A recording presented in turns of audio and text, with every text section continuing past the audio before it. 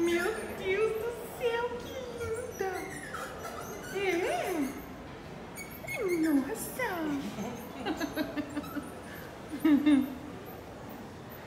Boa tarde pessoal, mais um vídeo aqui do Doutor Pra Tudo.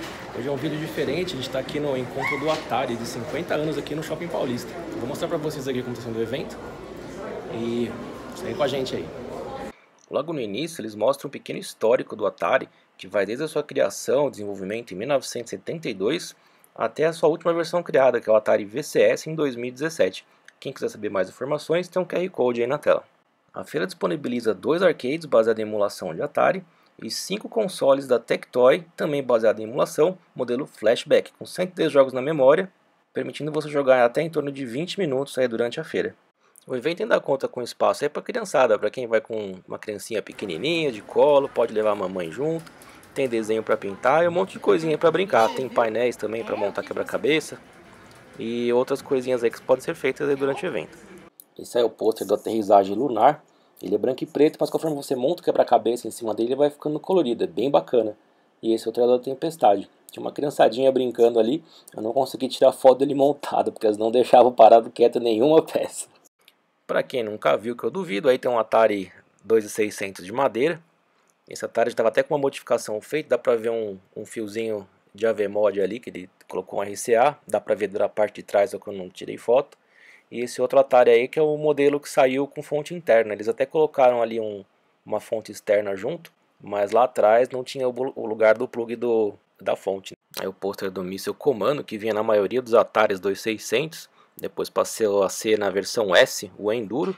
E também tiveram outros Ataris aí, né, que não saíram no Brasil oficialmente, né? O Atari 400, 800, o 5200, 7800, Atari Jaguar, VCS e alguns arcades.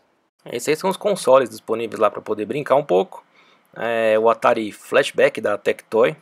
É um modelinho legal, vem com 110 jogos, mas ele é travado, você não consegue colocar mais jogos nele. Ele é basicamente o mesmo modelinho da AT Games. Ele vem com um joystick igual o tradicional, porém ele vem com algumas funções no controle, como Start, Select, é, você pode até gravar o jogo para continuar depois e tem o botão de voltar, como se estivesse num emulador mesmo. Ele é um emulador, né? mas é igual emulador de computador. A etiqueta de referência embaixo do console do Atari da Tectoy. E finalmente o arcade aí com emulação de Atari. Eu acabei jogando um pouquinho e acabei jogando canguru aí, ó, dá uma olhadinha aí.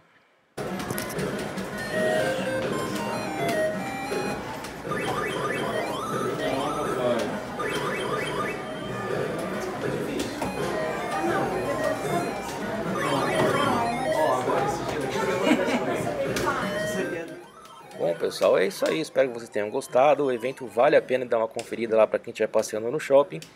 Em relação ao Atari 2600, vale muito a pena, tem bastante coisa para ver e relembrar. É, na minha opinião, o que faltou só foi os Ataris antigos, principalmente os que não vieram para o Brasil. Poderia ter sido disponível nos arcades, já que é uma emulação.